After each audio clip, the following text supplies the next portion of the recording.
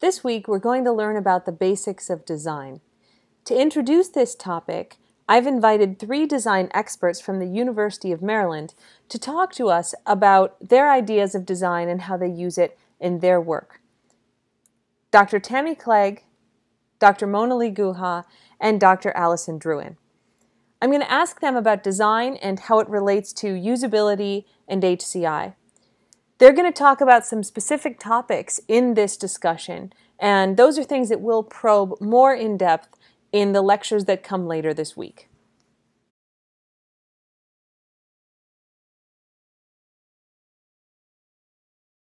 Design is really two different kinds of things. It's process, okay, but it's also I mean, it, it, are you designing the visual look of it? Are you mm-hmm. designing the functionality? There are mm-hmm. many different ways to look at design. Mm-hmm.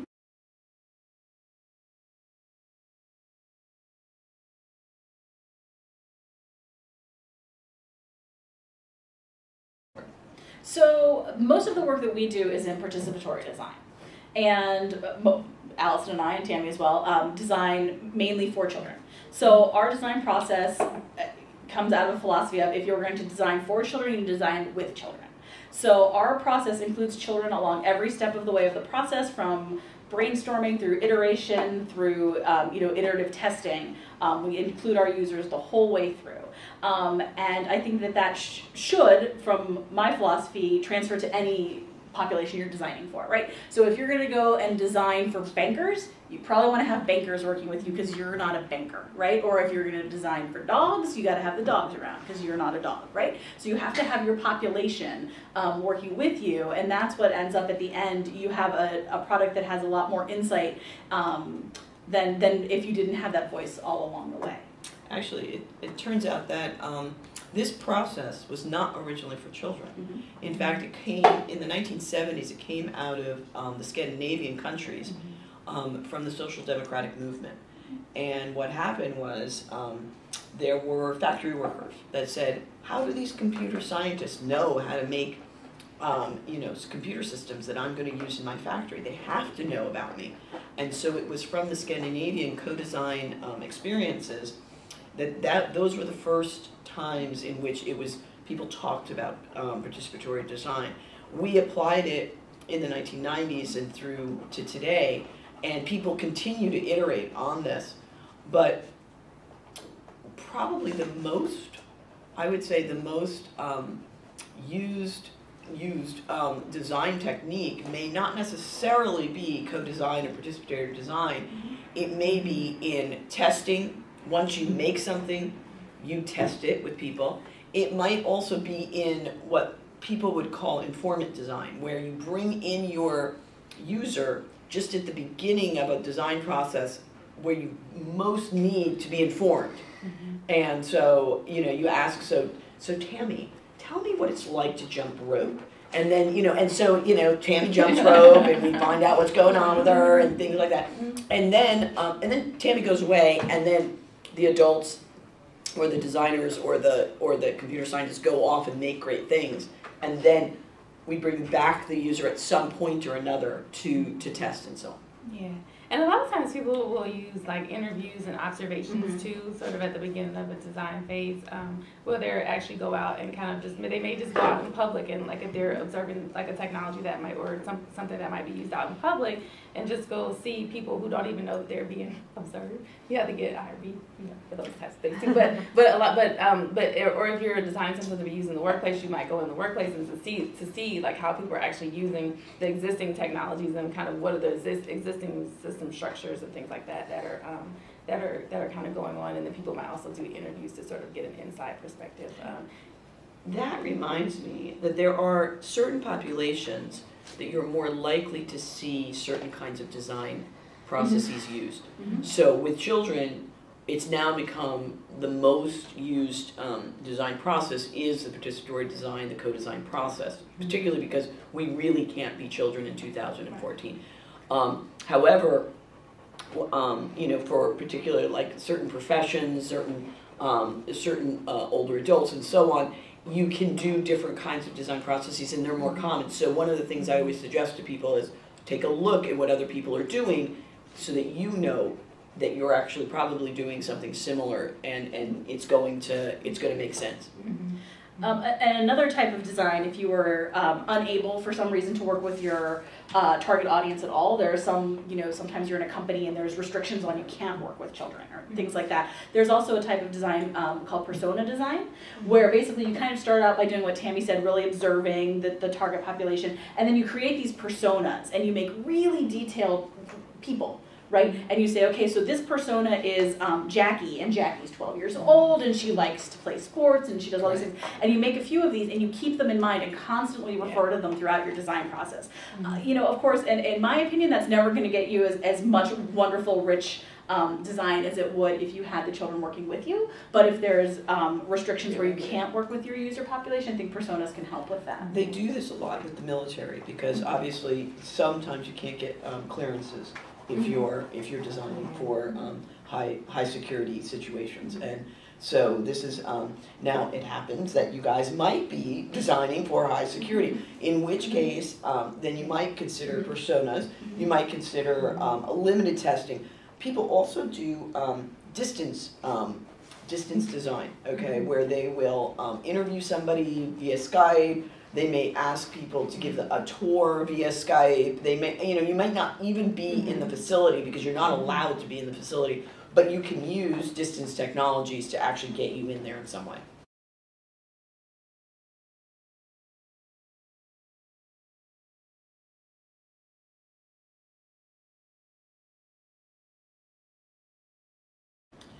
Well, okay.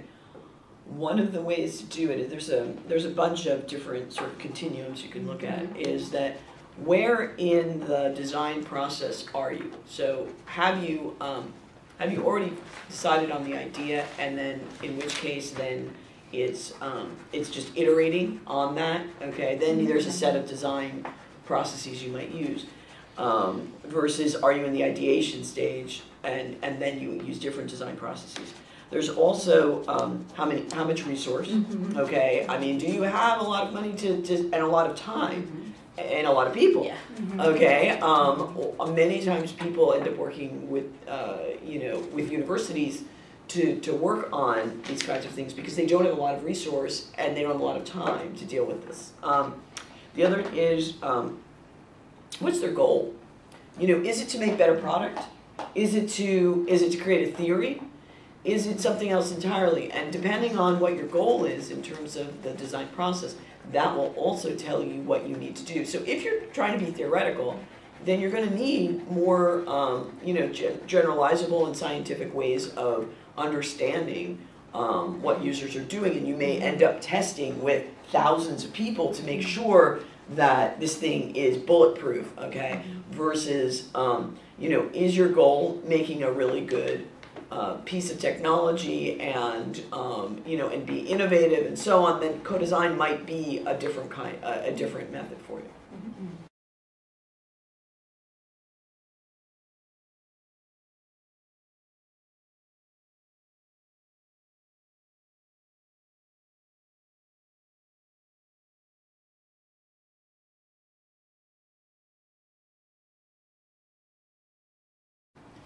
I think if you're if you're some guy building an app in your basement, um, think about who you're building it for, and then go talk to those people. And I, my my instinct is that probably if you've decided to build this app, you have a reason to. Um, you know, so that you could talk to uh, maybe it's for a certain set of your friends or you know a certain people you work with. Um, I think that getting input from the user as early as you can is probably a good idea. So I think that even if, even if you have no resources and you're just by yourself, that you can probably find someone who's, if not a part of your end user group, at least somewhat tangential to that user group to talk to and say, what ideas you have on this? And I think sometimes you're surprised. We are, um, not as much anymore, but still, when we think, wow, we have this great idea. And then we put it in front of the kids and they're like, wow, that the idea is over here. You know, you guys the, the good space, but you the idea and, and, and if you hadn't talked to them initially, you wouldn't know that. And then and then you spend months in your basement, and then you take it out, and the person goes, uh, the idea is over here, not over there. And I, I think that that kind of raises some interesting points too about when, when and how you take things to users. Um, so, you know, like as Moni said, you want to take it to them early and often. Um, so you shouldn't feel like you want to make this like polished, polished prototype, right? And then take that to them because then what, you, what you'll find is that your users will be a lot more hesitant to give you their ideas about um, about it, um, to elaborate with you on it because they'll think it's already it's already finished, and you'll be a lot more hesitant to accept what it is that they say because you've already put so much time um, and, and energy into this particular going down into this particular um, um, uh, design, you know, this design effort. So. So yeah, so, so taking those paper prototypes and building them out, um, and building them out and building them out kind of iteratively with these would be.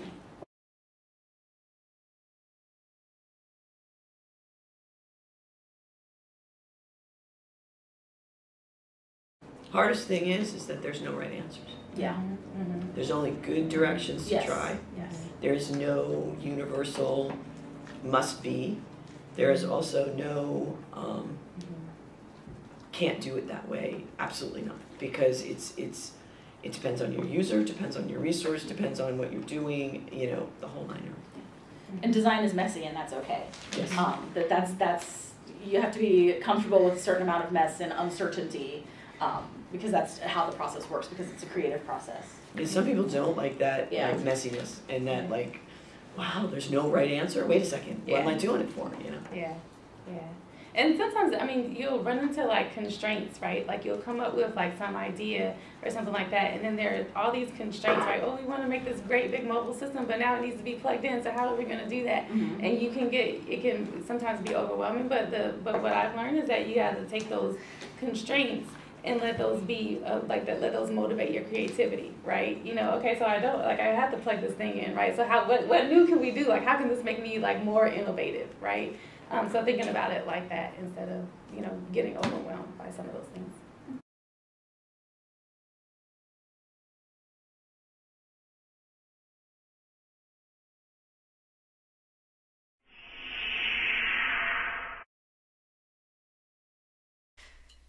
In this video, we're going to talk about different design methodologies. In the interview that we saw previously, some of these methodologies were mentioned, and in fact, there's a number of ways that people go about designing technology, including security systems. This lecture will allow you to see some of those different methodologies. We'll even look at some of them in work, and you'll be able to see how to take some of those and integrate them into a process when you're designing technology on your own. First, let's talk about the design process.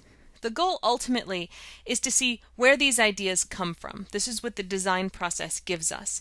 So you may come up with ideas just sitting by yourself in the room. You may talk with users. You may talk with other designers. Different design processes help us develop ideas in different ways. There's a lot of different design processes. In this video, we're going to look at a few of these, including iterative design, system-centered design, user-centered design, participatory design, which we talked about a little bit in the interview, and designer-centered design. And let's talk first about iterative design because this in fact fits into a lot of the other design methodologies we'll talk about. If we start at the top, we come up with a list of requirements for the system that we're going to build. So if you were building an authentication system, for example, you would come up with a list of requirements. That could be that users are able to log in, there's certain kind of checks that you have to do to make sure that their login, say their password is secure enough, and so on. Once you have that set of requirements, you then go and make a design. And there's a lot of different ways that you can do that, and we'll look at some of those in upcoming slides. Once you make the design, then you go on to development. You actually build the system or a prototype of the system, and then you test it. The point of iterative design, though, is that in all of these stages, we're going back and forth and cycling around. So once you define your requirements, it may be that you get to design and then realize that some of your requirements weren't well spelled out. So before you move on to the development phase, you may go back and refine your requirements and then go on to design again. Once you get to development, again, you may decide you need to change your design or your requirements. So you can go back to one of those earlier phases. Then, once you move on to testing, you again may refine your requirements, but you also may go back and change any of the other steps in this process. So we're iterating around through a design, but we're doing it in a way that we allow ourselves to adjust any of the requirements, design, or implementation along the way. Let's talk about system centered design. This is something that doesn't involve a lot of users or resources, but it's one it's a design methodology that happens a lot. Essentially, we ask questions like what can be built easily on this platform? What can I create from the available tools? And what can I do as a programmer that I find interesting to work on? So, some of these are important questions. For example, if you're building an authentication system for a mobile device, it could be a huge amount of additional work if you want to implement a totally novel authentication system when the platform already supports a few different ways of doing things. So it's important to ask that because it may not be worth dozens or even hundreds of hours of additional work to implement a totally new authentication system when you can rely on things that are supported already within the system. At the same time, some designers use this as an easy way out of coming up with anything new because they look at just what's available and aren't willing to do extra work on top of it. User centered design is a very popular way of doing design within human computer interaction, and it focuses on the users and their importance to the system. These designs are based on users' abilities and their needs, the context in which they're working, the work that they're doing, and the tasks that they have to accomplish. The golden rule of interface design is really to know the user. So when we talked about that previous example of doctors trying to circumvent the security system on their portable machines by putting styrofoam cups over the proximity detectors, that's an example of where user centered design wasn't followed. That security system did not take into account the user's abilities and needs, the context, the work they were trying to do in the tasks. And as a result, it was a poor system for them to work with. User centered design tries to take all of these user needs into account, and the design is based around that. Participatory design is really a type of user centered design where users are actually brought into the design process. It addresses the problem that sometimes our intuitions as designers are wrong. If we do interviews or talk to people, they're not necessarily precise. And designers might not know the user well enough to answer all the issues that come up during the design. So even if I talk to users and come up with a list of tasks, they may tell me things that are useful, but when I actually get into doing the design, I may have more questions that I can't answer. The solution that participatory design offers is that there's actually a pool of end users that participate in the process of creating the design. And what I'd like us to do now is actually to hear Dr. Druin, Clegg, and Guha from our previous interview talking about participatory design since this is the core of their work. So, um, so participatory design slash co-design is when you involve um, the people, the target group that would be end users for your technology in the actual design of the technology. Um, there are various levels of engagement that you that, that those groups can take on. So there's some people who sort of um, who who might do like interviews and observations and think of that as participatory design. Um, we tend to think of participatory design. You're actually bringing in those end users to give you to generate design ideas that you're actually gonna to take it and you know take with you. But um, so and you might also engage those um, you might engage those participants in doing some of that initial work and doing maybe some interviews and observations themselves of other people. Um, but but also you have we have techniques um, where we're we're we're actually working with the end users to um, generate those those designs in the process.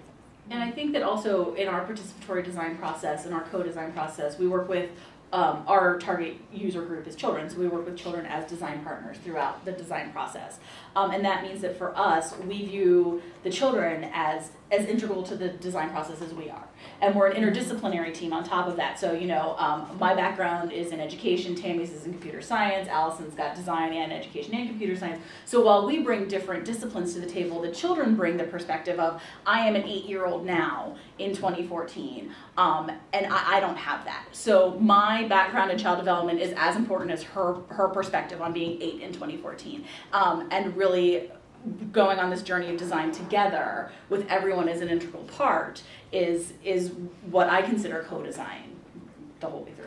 I would say that the litmus test is, are you elaborating with your Mm-hmm. users? Okay, is, um, so Tammy's a teacher. And I could ask questions of Tammy, okay, like what she does as a teacher. But Tammy needs to, I need to give an idea to Tammy, and Tammy needs to say, you know what, I like that idea, but what if you changed it and you made sure that five kids were in the classroom the, um, doing that at the same time? And then I said, well, I don't know if that would work with five, but you know what, three could work, and then and so on. So, you know, in terms of in terms of security, it's it's absolutely you know who um, who needs to be secure, who owns the security, who you know, and how can you have that elaborative conversation so that you're not sure whose idea ultimately was, and that, that to me is the litmus test of, of co-design. Right. And so it's not just about like kind of interviewing them about, so what do you do every day and what are your practices or that kind of thing, but it's more about interviewing them about like what should this thing that I'm designing look like, Mhm. right? Then getting them to elaborate on that. Yeah, and it's not just interviews because Or, yeah. we we do Yeah. use lots of different design techniques, and we use a lot of artifact um, creation to actually bridge that conversation because you know we can talk till the cows come home between Yeah. the three of us, but you know a lot of times people feel a little bit uncomfortable, like sort of sharing ideas and going back and forth, and so there we have different techniques, and, and many other people do uh, around the world in in elaborating um, in creating that elaboration process. Brainstorming is also a tool that's used in a number of design processes and can be a design process by itself. The graphic that we see here is part of the IDEO design process. You'll see a link in this week's material to a TED Talk that really gets into detail about the interesting brainstorming design process they have there.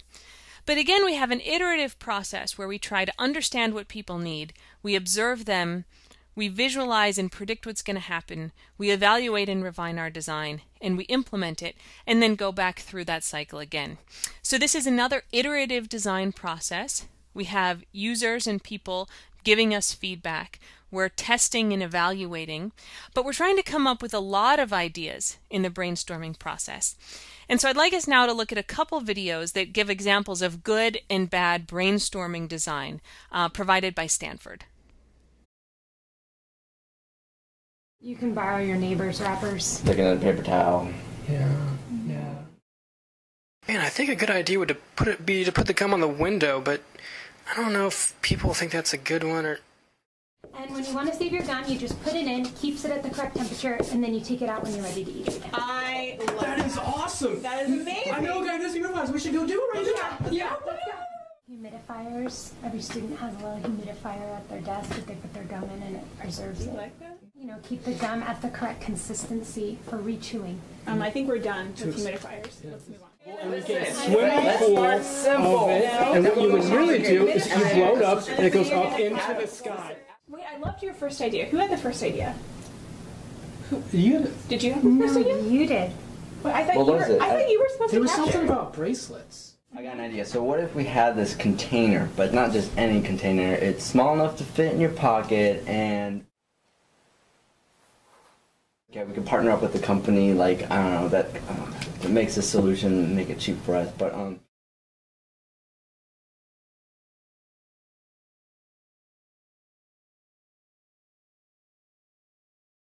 Institute, and they told me how to brainstorm effectively. Okay, so Jackie, would you mind writing? Okay. And be sure to capture all the ideas, right? Because All of them? every idea is important. Yeah, even the wild ones, because that's how you get to really innovative solutions.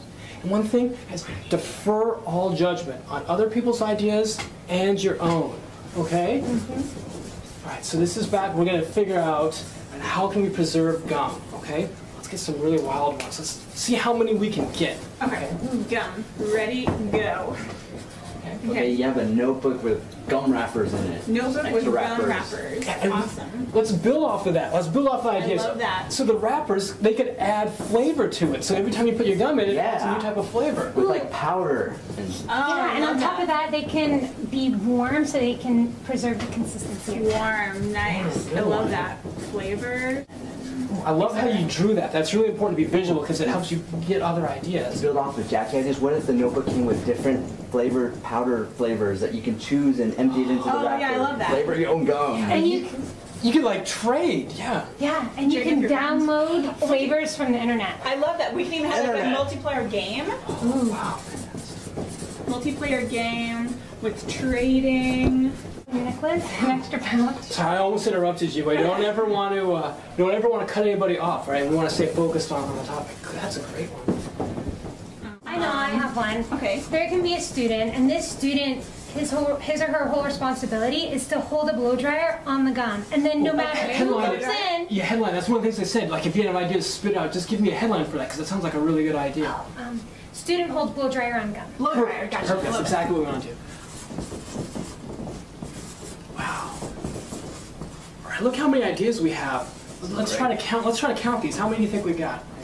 Yeah, we're brainstorming for like three minutes, and already we've got 57 ideas. Awesome. Woo! All right. D school rocks. Go team. Go. And to conclude, we finally have designer centered design. And Steve Jobs really embodied this when he says, It isn't the consumer's job to know what they want. And if we look at these phones, for example, this is a series of phones by Nokia, all the left phones, and then the iPhone on the right. The Nokia phones really show a progression of how mobile phones evolved, and you see them approaching something with bigger screens and smaller buttons. But the iPhone, when it came out, really was a totally transformative design in cell phones. And that's not something you necessarily could have come up with if you had a group of average cell phone users together. It was a transformative design that threw out all of the things we knew about and added something else. Designers are trained to be good at coming up with these kinds of ideas. And a lot of times, if you talk to average users, they may get stuck in ideas of what they've seen before in either other contexts or the tools that they're used to working with, and may not be able to come up with these radically new designs. Designers are better at this, and so leaving some of the control in the designer's hands so they can look at consumers and know what will help them do their job better even if the users don't know that themselves, can lead to great innovation. So, in conclusion, users can give a lot of valuable insight for design. They can tell us about tasks, the context that they're working in, and their needs. In addition, we want design methodology to support designers in coming up with new ideas. And in almost all of these design methodologies, we see that it's important to iterate to build better systems. Try some ideas, prototype them, design them, test them, and then go back and refine at every stage of the process in order to come up with something good. We're going to look at some case studies of examples of design and development of systems in cybersecurity to really see how this plays out.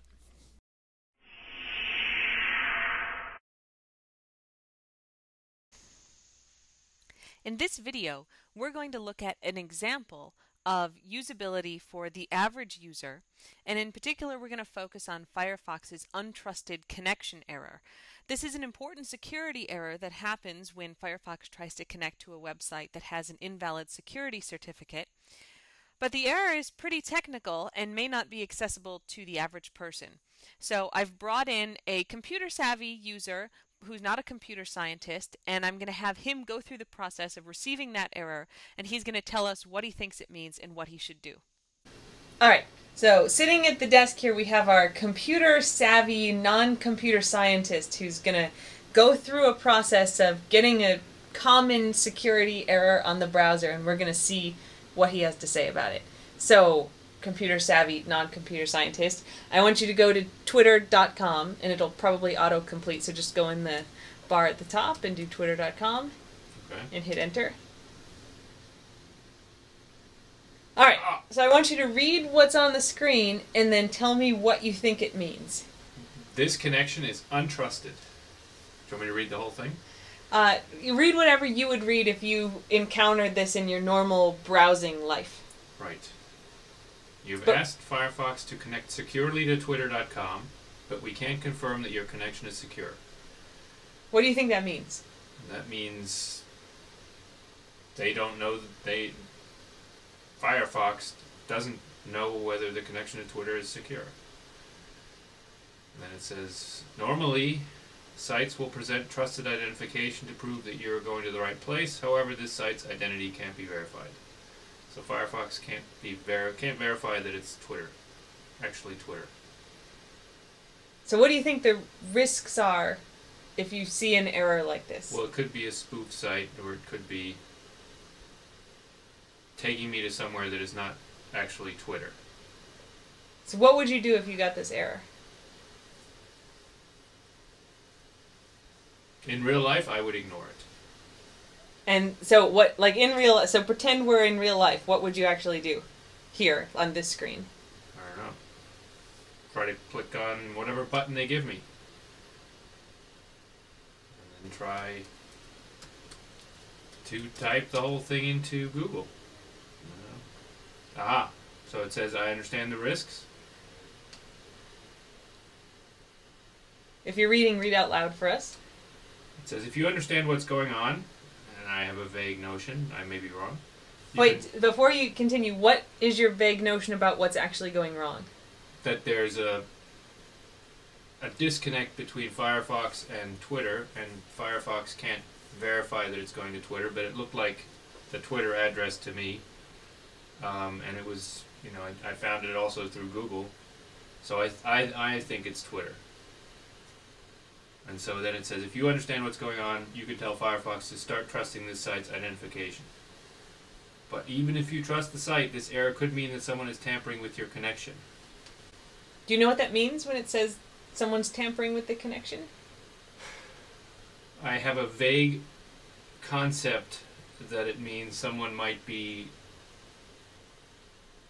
have gained access to my computer or you know is I don't know siphoning off information between what Firefox is doing and what Twitter is doing. Okay. But it's only Twitter. It's not my bank. Um, so I'm not sure there's that much harm in this case. But I don't understand it that well. Would you do this? I understand the risks thing if it were your bank. Probably not. Or my credit card Yeah. statement? Probably not. Okay. So I can add an exception. Maybe. If you're reading, read it out says, loud. You are about to override how Firefox identifies this site. And it says legitimate banks, stores, and other public sites will not ask you to do this. And it says the certificate status is this site attempts to identify itself with invalid information. It's outdated information. The certificate is not currently valid. It is impossible to verify whether this identity was reported as stolen or lost. Are you worried about that or not? Yeah, I'm worried about it. And it seems like Firefox is going to some effort, I think it's Firefox, to Yeah. Not let me do this. So I'll just not do it. I'll cancel. Okay. Get me out of here. Okay. But I'm still not sure what happened. Thank you, computer savvy non computer scientist, for mm-hmm. helping us process this error message. I'm happy to help. So, what are some lessons we can take away from watching this video? First, the user knows that something bad is happening, but he's not really sure what. He's able to read back some of the possible errors that the screen is telling him, but he doesn't really know what those mean or how they would work. The user also has good general strategies. For example, he said he'd worry more about sites with sensitive information like his bank or his credit card, but with Twitter he's not too worried. That's a great strategy, but if he were, for example, to be facing a man in the middle attack, where someone would hijack his password and potentially his email address that he uses to log in, if that password's repeated, he actually could make a lot of his accounts vulnerable. So his strategies are good, but because he doesn't understand what the possible security risks are, and they're not communicated to him by this error in a way he can understand, he may make himself vulnerable if he were to go around this error. And finally, the error message that Firefox shows relies on a lot of information that the average user doesn't understand. The example user we had here is actually quite computer savvy, but he didn't understand a lot of the technical terms and jargon. He doesn't understand what security certificates are, how they work, when they expire, what that means, and how they can be spoofed or inaccurate credentials can be sent to allow an attack. So, though Firefox does a very good job of discouraging people from continuing on when they encounter this error message, they're not doing a very good job of explaining what could be happening. So, a question for you to think about and to have in the discussion is how could we improve this? If we wanted to have an error message that appears when there's an invalid security certificate, what could we do to make it so a really average user could sort of understand what's going on there and make good decisions?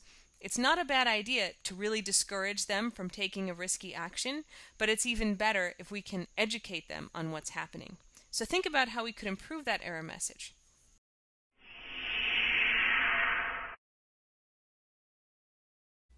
So in the previous video, we just saw what happens when a computer-savvy user who's not a security specialist encounters an SSL warning in their browser.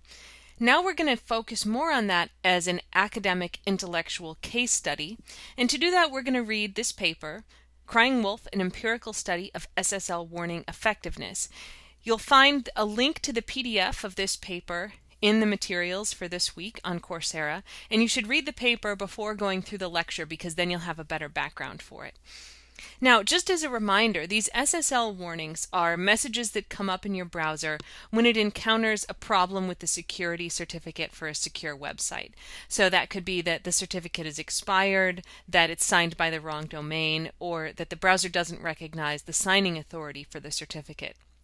When a user encounters that, it's possible that there's just a meaningless error, like if the clock is set incorrectly on their computer, making security certificates look expired when they're not. But they also can be indicators of man in the middle attacks or other security problems that will prevent a user from securely accessing a website. The browser's goal is to discourage users from going forward, especially to secure sites, when it can't validate the security certificate. This paper looked at how effective those warnings are and how we might design more effective warnings. After this lecture, the next one you'll see is an interview with Lorrie Cranor, the last author listed on this paper, and she's going to talk a little more about the process they went through in designing the alternative SSL warnings that we're going to see discussed in this paper. So let's start by taking a look at the three SSL warnings that were studied in the paper. The first one is this, which is the security warning that comes up when an invalid certificate is shown in Firefox 2. Again, if you print out the PDF of the paper or download it, you can read these messages more in depth, and you should take a look at them before you go through this lecture. The second is very similar to the message that we saw in the previous video, um, showing that a secure connection failed. This is the message from Firefox 3. And finally, they looked at this SSL warning that comes up in Internet Explorer. So these were the three major browsers in use at the time that the paper was written. And the authors started out just by trying to see how people thought about these errors and how they responded to them. Their survey provided some interesting results. First, they looked at three different types of errors that could cause an invalid security certificate. And if we look on the horizontal, the x-axis here, we can see that those are having an expired certificate, having an unknown certificate authority, or having a domain mismatch where the certificate is for a different domain than the site the user is trying to access. They showed these errors to people, along with how they would appear in each of the three different browsers that we just saw. And they asked them whether or not they would continue on to the site they were accessing. This table shows the percentage of respondents who said they would continue, that they would not continue, or maybe they would. You can see for an expired certificate, uh, many more people said they would continue than in the other two cases. And you can see in all of these cases, the people seeing the Firefox 2 error proceeded more, though in the last case of having a domain mismatch, that's a really small percentage of people. Still, we see 30 40% of people say they would continue even when they see these SSL errors. Now, depending on the site they're going to, that might be okay. If you're going to a site where you're just browsing, there's no secure or interesting personal information there, it may not matter that you don't have a secure connection. That's something that's addressed later in this study, which we'll talk about. But another interesting result that came out of this survey were comments from people about why they would continue. That includes things like I use a Mac, so nothing bad would happen.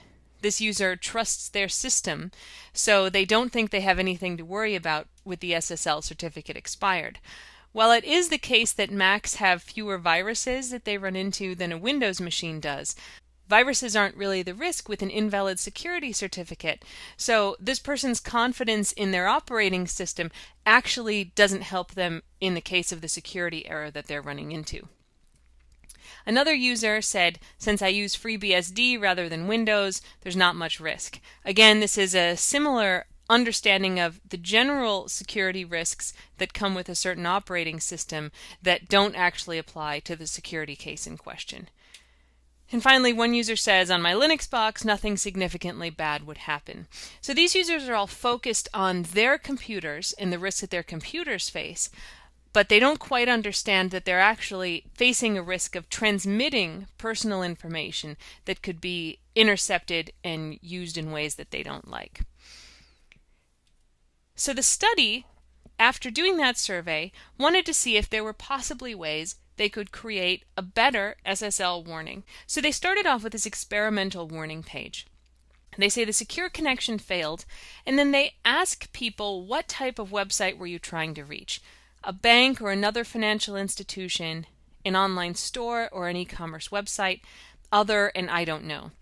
Those first two are places where you might be transmitting sensitive information, like your banking information, login information, or things like credit card or other personal information if you're shopping.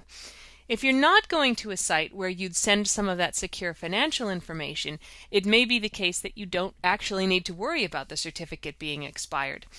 So they had a second page that came up. If users were not going to one of those sensitive websites, they would go ahead and pass them on to the website. So if I said I was going to another website and clicked continue, it would say okay and send me along to my destination. If I had indicated I was going to one of those first two more sensitive websites, then I would get this very scary warning that comes up all in red. That says there's a high risk of security compromise. It says that we're having our connection intercepted by another party or someone is impersonating the site that we're trying to go to.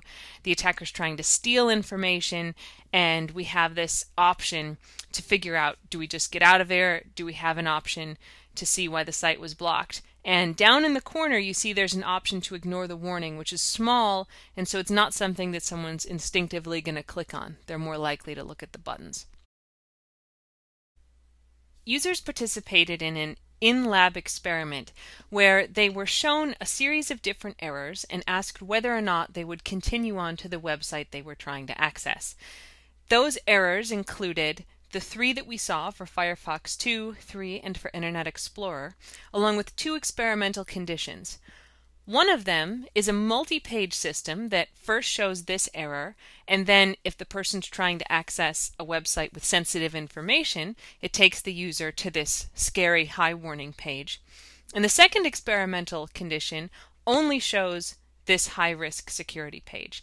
So we have two experimental conditions and three existing SSL certificate warnings. And users were sent to either the Carnegie Mellon Library website or to a banking website. These are the results that the researchers found. On the horizontal x-axis, we can see all five experimental conditions. The first three are the SSL certificate warnings from Firefox 2, Firefox 3, and Internet Explorer. Then we see the single page warning, which is that red box that looks very scary. And finally, the multi-page warning that first asks users which kind of site they're trying to go to, and then if they're going to a more secure or sensitive website, takes them to the red warning page. On the vertical axis, we see the percentage of users who said they would ignore the warning and go on to the website. Finally, there's two bars shown for each of these different browser warnings. The blue one shows what percentage of users would go onto the website if they were accessing a banking website, and the green bar shows the percentage of users who would continue on to a library website, which is less sensitive. What we can see is that the single page warning, which is just that large red error box, had significantly fewer people in the banking website who said they would actually go onto the site. So that's good. You want people who are potentially going to transmit sensitive information to be less likely to do that when there's an SSL error. However, for the library website, the Firefox 3 error kept the most people off the site. The single page allowed the second largest number of people to go through. But you can see for the library website, overall, a lot of people were willing to ignore the SSL warning and go on to the website. It tended to be lower for banking, though looking at the Firefox 2 and Internet Explorer warnings, still 90% of people were willing to ignore that warning and go on to the banking website. The different SSL warning interfaces also had an impact on users who logged in based on whether or not they read or didn't read the error message and based on whether or not they understood it. Now, an important thing to note here is that we're looking at the percentage of users who logged in, and so none of these numbers you should expect to add up to 100%. So in the Firefox 2 condition, the first row, we can see that among people who read the error message, 20% of them logged in. Among people who didn't read the error message, 70% of them logged in. Moving on, when people read and understood the error message, 35% of them logged in.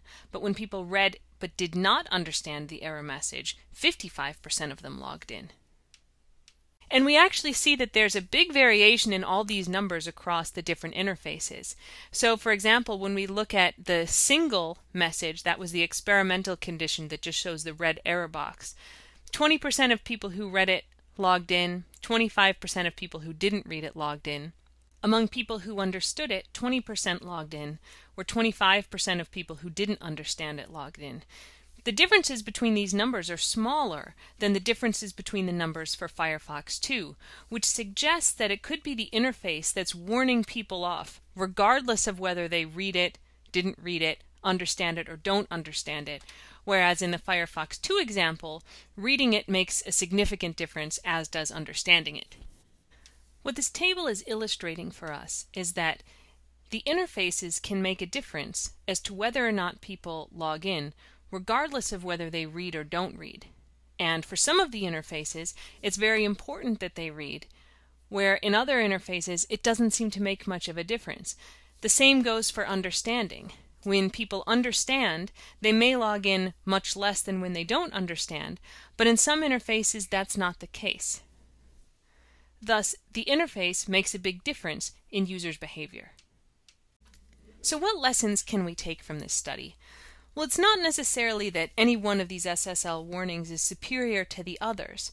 Rather, this study gives us the insight that different interfaces can have major impacts on the security behavior of users. We saw in their results that, depending on which SSL warning they saw, some people were more or less likely to continue on to the site that they were trying to access. We also get some lessons that depending on what they're shown, users may be more or less likely to read the message in the first place, and depending on how it's presented, they may or may not understand it. We also saw very big differences in the rate of logging in among people who read and didn't read error messages and people who understood and did not understand them. And that was related to the interface they saw. It also gives us some lessons about how to design these things. We want to think about what do we want users to do? In this particular case study, when there's an invalid security certificate, if a user's going to a site that requires sensitive information like a banking site, we want them not to continue. That's the best security decision. So that's what we want users to do. And that leads us to the question, what do they, the users, need to understand in order to do that?